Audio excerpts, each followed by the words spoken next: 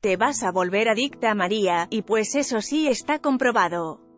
Me lo han dicho tantas veces sobre la marihuana, pero ¿saben cuando no me dijeron nada? Sobre echarme mi primer alcohol, o mi primer cigarro, tenía menos de 5 años cuando, de broma, me dieron alcohol la primera vez. Una probadita, no pasa nada. He visto a millones de papás mojarles las encías con una mezcla de brandy con miel a sus bebés para no le duela tanto, fume y tun. Cigarro, a ver si se te pasa la ansiedad, ¿cuántas veces no han oído eso? Dudes, no nos hagamos mensos.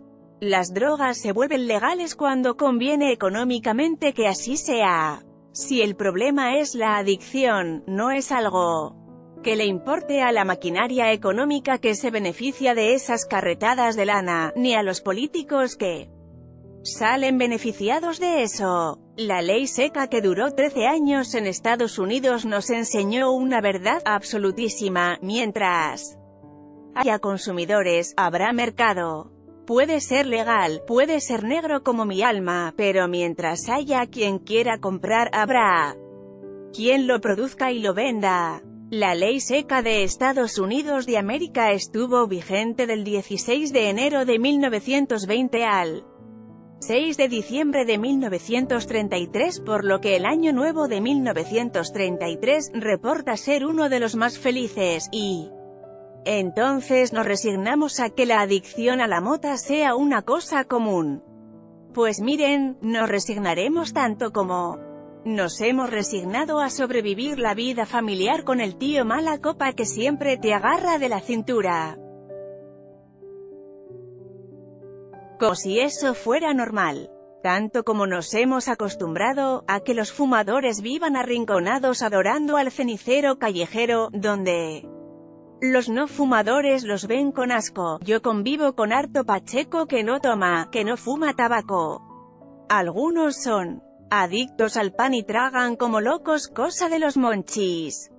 Otros son adictos al azúcar, otro tremendo problema de salud que también nos causa esa sustancia, no saben lo caro que es para el sistema de salud andar cargando con nuestra obesidad, diabetes, enfermedades cardíacas entre miles de etcéteras. Mis amigos pachecos son tan variados como mis amigos alcohólicos pero...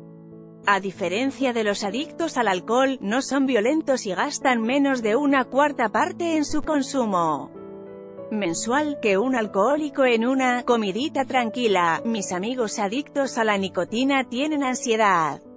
Y pues yo quién soy para juzgarlos. Muchos no disfrutan el olor o el sabor y se resignan a que medio sepa a clavo, a menta. Pero no lo disfrutan realmente. Quienes disfrutan fumar, lían su tabaco, fuman puro, la culpa es del prejuicio, no de la sustancia que lo hace adicto. El Diccionario del Español de México, hecho por el Colmex, mi favorito entre todos los diccionarios. Y a esos libros soy muy adicta, dice de las palabras que nos traen aquí, adicción, SF1 dependencia de una sustancia. Química en que cae una persona, al extremo de establecerse en ella una necesidad fisiológica, adicción a las drogas, adicción al alcohol, adicción al cigarro. 2 afición exagerada a algo, su adicción al cine lo alejaba mucho de los estudios. Miren, yo amo al Colmex, ese colegio nos ha hecho más héroes patrios de los que hay en los libros de texto pero, aquí sí me quedaron mal. Se fijan cómo, para explicar el uso de la palabra, luego, luego se aventaron al prejuicio. El adicto es, según este ejemplo, alguien que obviamente descuida sus responsabilidades. Y pos no he, he conocido CEOs bien adictos a cosas legales e ilegales, y bien responsables, mejor hagámosle caso a la OMS que sabe más de medicina que el Colmex, los médicos y sociólogos y estadistas que trabajan para la Organización Mundial de la Salud, dijeron en noviembre de 2017 que el cannabidiol, la sustancia que contiene CBD, lo que cura, y no THC, lo que te hace volar, no es adictiva.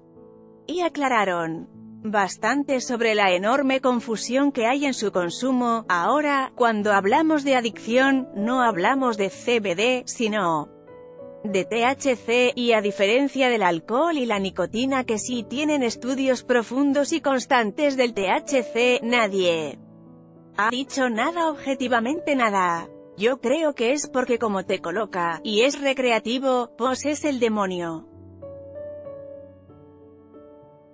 Y es que si como el alcohol, el THC fuera legal, ya tendríamos miles de estudios que comprobarían si es o no, en sí misma una sustancia adictiva o si provoca adicción, conceptos muy diferentes entre sí, pero no, la prohibimos. Bien ahí humanidad. ¿Y qué pasó? Que los narcos se inflaron de lana porque todos la siguen consumiendo, y seguiremos haciéndolo, que ninguna organización tuvo quien fondeara estudios constantes con harto objeto de estudio, es decir, adictos para observar que Ningún sociólogo o economista puede tener datos reales del consumo de marihuana, porque a ver, ¿dónde están los tickets de compra? ¿Cómo sabemos quién y cuándo y por qué la compran? ¿Dónde está mi estudio de mercado? Refundidos en la prohibición, ah pues ahí están bien. Hasta ahora, lo que sabemos es que la nicotina tiene un índice adictivo del 30%. El alcohol de un 15% y que la tasa de adicción al THC es del 10%, según una investigación hecha en la Universidad de Queensland, Australia, que revisó estudios hechos durante 20 años, vaya, metodología de investigación estandarizada, no habemos, aún. Pero dejen que la legalicemos y ya se imaginan los estudios que saldrán de la UNAM y el Poli, ¿y entonces? ¿La mota es adictiva o no? Hablaré por mí, porque no me atrevo a más, en mi opinión de paciente preguntón. que tiene la enorme ventaja de ser tratada por pura lumbrera médica, creo, opino, pienso que las adicciones viven en el adicto. Si tu organismo y personalidad tienen predisposición a la adicción, tu biología elegirá tu veneno, y serás adicto a la coca, y, o a la Coca-Cola, al tabaco, al azúcar, al sexo, a comprar compulsivamente, a comer compulsivamente, ser adicto. A la marihuana te pondrá pacheco, hará que pierdas noción del tiempo, que olvides datos que acabas de aprender y que sonrías todo el tiempo, como si vieras al mar y de él salieran delfines que cantan tu rola favorita. ¿Tú qué prefieres? ¿Los efectos de la adicción al alcohol, a la nicotina o a la marihuana?